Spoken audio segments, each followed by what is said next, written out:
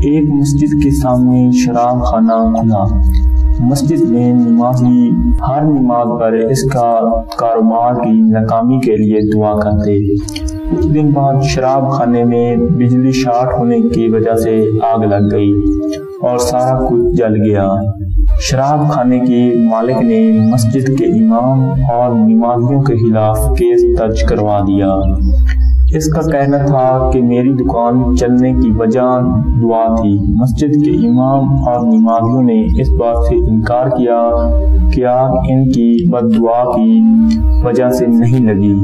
جج نے انہیں فیصلہ سناتے ہوئے کہا کہ اس کیس کا فیصلہ کرنا بہت مشکل ہے، کیونکہ شراب کھانے کا مالک دعا کی طاقت پر یقین رکھتا ہے، لیکن تمام مسجد والے یقین نہیں رکھتے۔